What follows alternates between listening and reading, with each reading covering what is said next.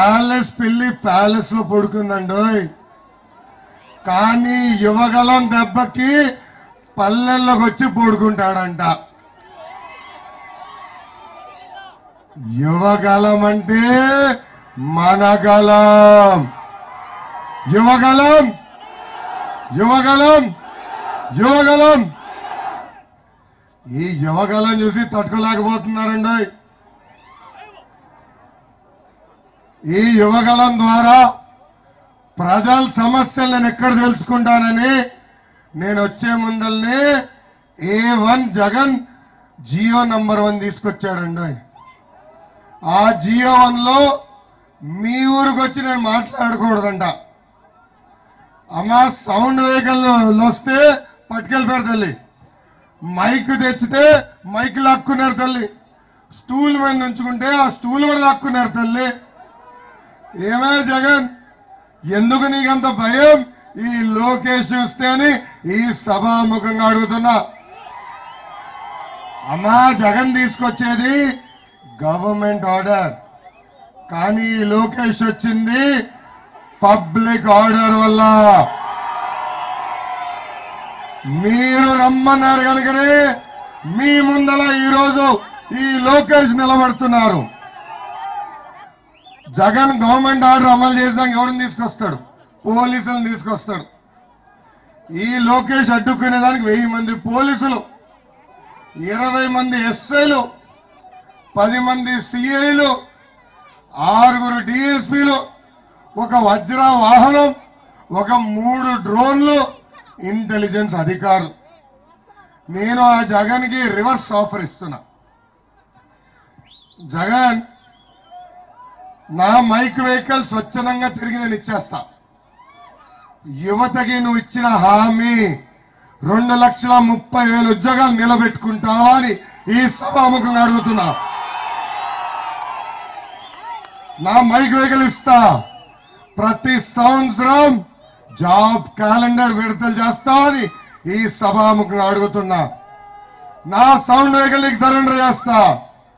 ఆరు వేల ఐదు వందల పోలీస్ పోస్టులు ప్రతి సంవత్సరం భర్తీ చేస్తామనేది భర్తీ చేస్తామని అడుగుతున్నా. నా సౌండ్ వెహికల్ నేను సరెండర్ చేస్తా. మెగా డిఎస్సి ద్వారా ఉపాధ్యాయుల పోస్టులు భర్తీ చేస్తామని ఈ సభాముఖంగా జగన్కి నేను ఇస్తున్న రివర్స్ ఆర్డర్. అంతేగా తల్లి నా మైక్ కూడా ఇచ్చేస్తా తల్లి జగన్. ఫోన్లే బాధపడుతున్నాడు కదా.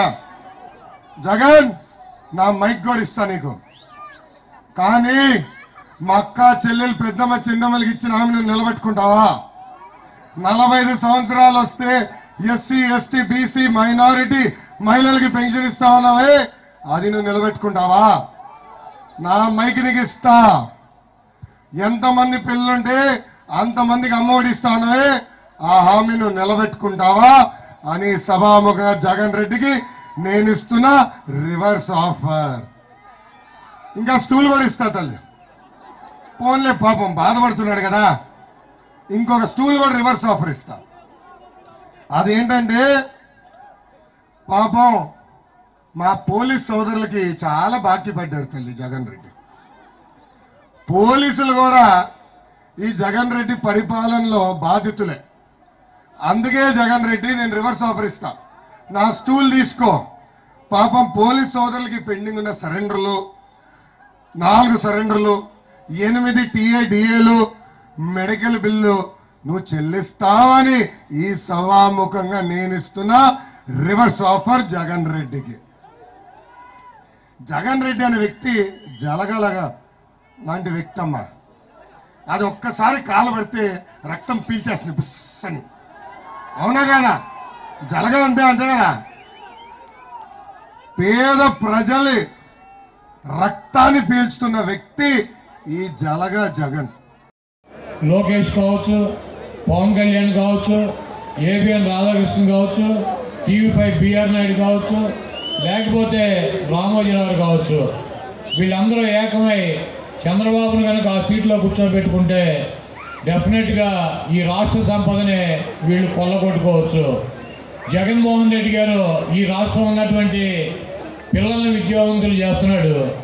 అనగారినటువంటి వర్గాలకి రాజకీయ పదవులు ఇస్తున్నాడు.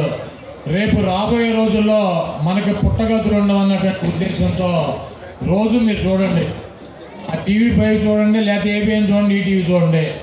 సాయంత్రం ఆరు గంటలకు డిబేట్ పెడతారు. ఎవరో పనికి మాలిన కొడుకులకి సూటు వేసి వాడు ఒకడు ఆంధ్ర రాష్ట్రాన్ని కాపాడడానికి ఆడు ఒక మీద అంట. ఆడికి ఒక పేరు పెట్టి ఆయన కూర్చోబెడతారు ఒకడు జడ్జిగా సస్పెండ్ అయిపోయాడని చెప్పి ఆయన కూర్చోబెడతారు సస్పెండ్ అయిపోవడం అంటే జడ్జికి ఎందుకు అవుతారు? ఇటువంటి వాళ్ళు ఒక నలుగురిని కూర్చోబెట్టి ఇష్టం వచ్చినట్టు జగన్మోహన్ రెడ్డి గారు బాబాయ్ని చంపించాడని చెబుతాడు. జగన్మోహన్ రెడ్డి గారికి బాబాయ్ని చంపితే రాజకీయ పదవులను వచ్చినాయా? లేదా ఆస్తిపాస్తులు వచ్చినాయా? ఎవడు చంపుతాడు? ఇప్పుడు మనకేమైనా ఆస్తి వస్తుందో? లేకపోతే పదవి వస్తుందంటే బాబాయ్ను లేకపోతే ఎవరో ఒకరు చంపుతారు పక్కింటాడు అసలు మనకి ఏమీ రాకుండా మనకి మనకి చంపి ఏం చేయాలి? చంపింది ఎవడు? ఈ చంద్రబాబు ఫోర్ ట్వంటీ గాడు ఎన్టీ రామారావు దీనికి? ఈరోజు ఎన్టీ రామారావు ఆ రోజు ముఖ్యమంత్రి పదవి తీసేస్తే చంద్రబాబు నాయుడు ముఖ్యమంత్రి అయ్యాడు. ఎన్టీ రామారావుని చంపి పైకి పంపిస్తే శాస్త్రంగా ఈరోజు తెలుగుదేశం పార్టీ అధ్యక్షుడు ఎవడండి చంద్రబాబు నాయుడు ఫోర్ ఉండేవాడు.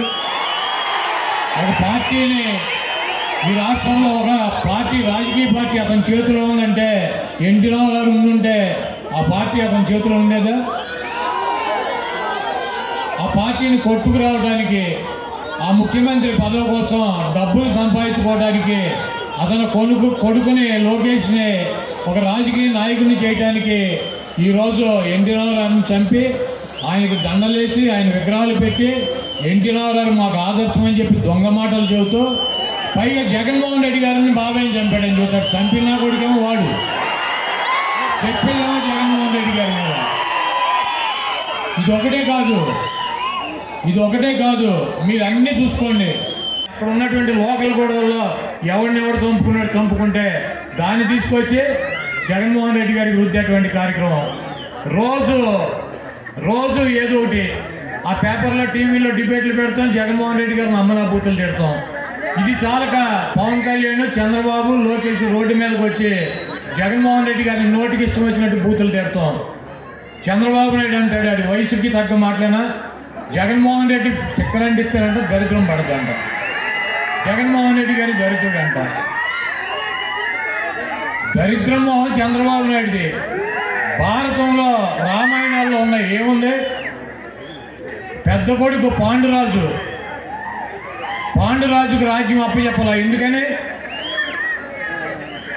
ఎందుకు అప్పచెప్పల పాండురాజుకు రాజ్యాన్ని?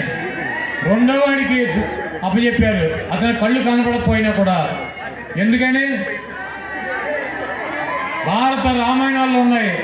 పాండు రోగం అంటే చంద్రబాబు నాయుడుకు ఉన్నటువంటి జబ్బు. అది ఉన్నాడు కనుక రాజ్యాన్ని వెళితే ఆ రాజ్యానికి అరిష్టం పడుతుందని చెబుతారు. చంద్రబాబు నాయుడు పదమూడు సంవత్సరాలు ముఖ్యమంత్రిగా ఉండి ఒక చుక్క నీళ్ళు పడే ఒక ప్రాజెక్టు నిండదు ఈ రాష్ట్రంలో ఉన్నటువంటి ఏడు వందల మండలాల్లో ఐదు వందల మండలాలు కరువు మండలాలే ఇప్పుడు. రాజశేఖర రెడ్డి కానీ జగన్మోహన్ రెడ్డి గారు కానీ ఎన్టీ రామారావు గారు కానీ ఉన్నప్పుడు ఏదన్నా ఈ రాష్ట్రంలో ఇప్పుడు నాలుగేళ్ళ నుంచి ఒక కరువు మండలం ఉందా? ఏదైనా ఒక ప్రాజెక్టు నిన్నటువంటి వర్షాలు పడే ప్రాజెక్టు నిన్నటువంటి పరిస్థితి ఉందా?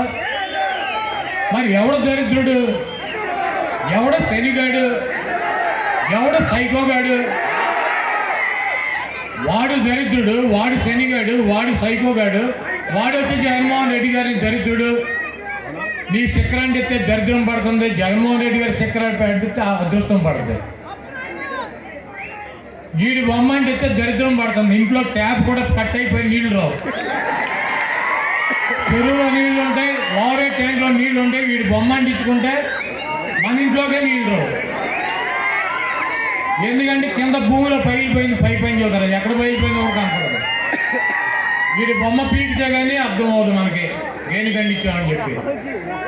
కాబట్టి నేను మాట్లాడినా అంబటి రాంబాబు గారు మాట్లాడినా లేకపోతే ఇంకొకళ్ళు మాట్లాడినా మేము వైఎస్ఆర్ కాంగ్రెస్ పార్టీలో మేమేమి ఎమ్మెల్యేలు మంత్రి పదవులు ఆశించడాలా